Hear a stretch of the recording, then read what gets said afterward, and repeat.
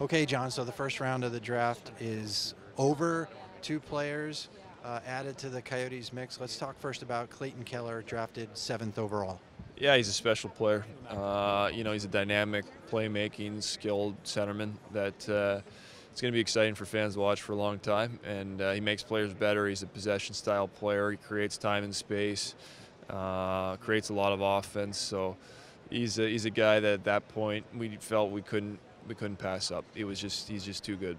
He seems comfortable with his size. Clearly, you guys are too, correct? Yeah, his size is an limiting factor. Like I said, he's so smart. He uses his body so well, create time and space. Doesn't get hit. I mean, we think you know you look at Patrick Kane in the league, and uh, you know Johnny Gaudreau, players like that. You know that's the type of material that we, we think this kid has. Okay, so the Coyotes were supposed to pick 20th. However, you guys wheeled and dealed and made a trade with the Red Wings to get number 16. Tell us about the trade, why it was made, and then tell us about Jakob Chychrun.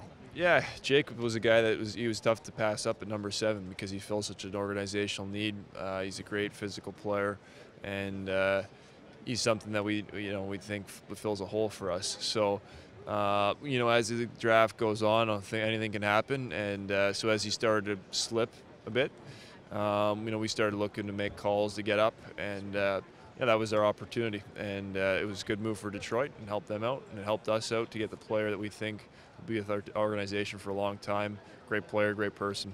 How shocked were you that he was still available at number 16? it's the draft. You're never shocked too much, but yeah, I mean, obviously that's why we made the trade up, and uh, you know we, we, we, you know we spent a lot of value to get up there, and uh, if, if we didn't think so highly of him, we wouldn't have done it.